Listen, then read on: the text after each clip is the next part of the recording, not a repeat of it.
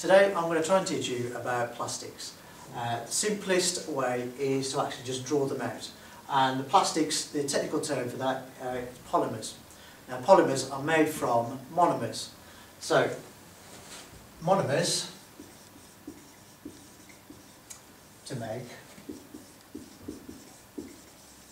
polymers, many. So single uh, to make many. And you might think, well, monomers, polymers, just new confusing terms. Well, not really when you think about it, because all the monomers are are structures that you've seen before, which are the alkenes, the carbon-to-carbon double bond compounds. So the simplest one, which I've just put uh, to go diagram of, is ethene. So if I write in ethene, so that now are, these both are ethene monomers. So ethene goes to form poly, polythene or polyethene. Okay, so you've started, but the terms they use in the exam will be monomer to polymer. So it'll be ethene monomer to form polyethene. Now the simplest way to draw these out is to number your carbons. So in this case, on the left-hand side, you've got one, two, three, four carbons in total. And on the right-hand side, you've got four carbons. So for example, carbon one here, carbon two, three, and four.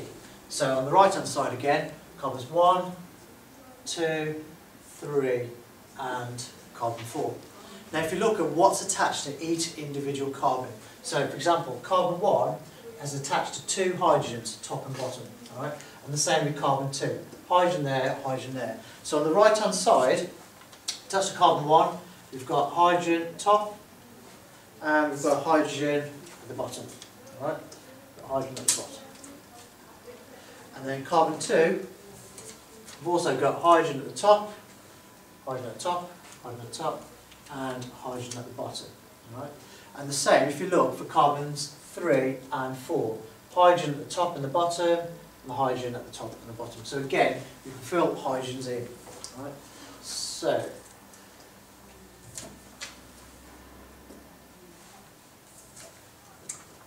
now common mistakes in the exam are firstly to draw in the carbon-to-carbon double bonds all along on the right hand side on your polymer. That is wrong. You will get definitely get no marks. So what you mustn't do, I'll put carbon-to-carbon bonds there, that is wrong.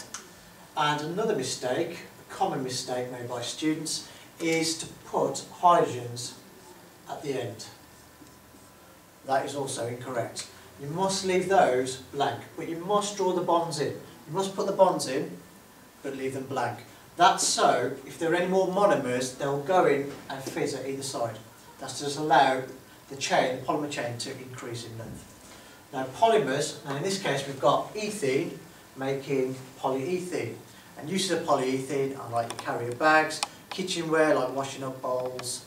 Okay, so they're the most common uses of polyethene that you'll be asked about. Another example that you may come across is, is not so easy now, where they haven't got just got hydrogens on, but they start changing the little groups. They start replacing the hydrogens, put little other groups in. Another common example is not using ethene anymore, is to use propene. Okay? Now, as the name suggests, you just put a poly in front of it. It's not polyethene anymore, it's polypropene. Polypropene. But we need to change the structure to make polypropene.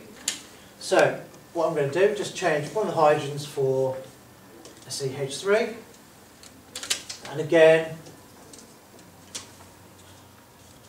a CH3 on there. Right? And now, if you again look at the number in the carbons, this is where numbering your carbons is important. Because now you haven't just got hydrogens present, you've now got a CH3. Okay, you've now got a, you've increased your number of carbons. So we've got carbon 1 is still hydrogen top and bottom. Carbon 2, however, has got a CH3 and a H at the bottom. So you go across to your polymer, carbon 2 pointing up, you change that for a CH3. Right. Carbon 3 remains the same. Carbon 4, you change it for a CH3. And there you have polypropene. Polypropylene, a tougher plastic than polyethylene, used in milk crates and car batteries, for example. It needs a tougher kind of plastic. And finally then, um, another type of exam question you could be asked is the general formula of a polymer or the monomer. Now, in theory, you could have many monomers uh, to make your polymer. Right? You're not going to sit there in the exam writing down 20, 30 uh, monomers in a row uh, and then polymers. Right? So what they ask you for is a general formula, where how often does the polymer repeat itself. So in this case, uh, I'll leave up uh, vinyl chloride.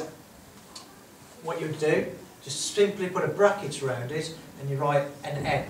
Now that is the general formula of your monomer where N can be any number. Right? And the same applies to your polymer. Draw the bracket round, okay, and, and you put the N again on your polymer. Now, common mistakes, again, remember it's all single bonded, there's no double bonds, all right? The bonds at the end of the, the your polymer unit, the start and at the end, they must go over the bracket, okay, to show that other monomers can join on. And all the bonds now, when they're at an angle here on the left-hand side, now become straight up. But again, number of carbon, so you don't mi uh, mix up which uh, group goes on what. Right? So for example, again, carbon 1, two hydrogens, carbon 2, chlorine and hydrogen. Again, carbon 1, hydrogen, carbon 2, chlorine and hydrogen. Now, if you asked any examples of any monomer, just follow those simple rules and you won't go wrong. But make sure you'll check your exam specification, you practice the exam questions, and you ask your teacher.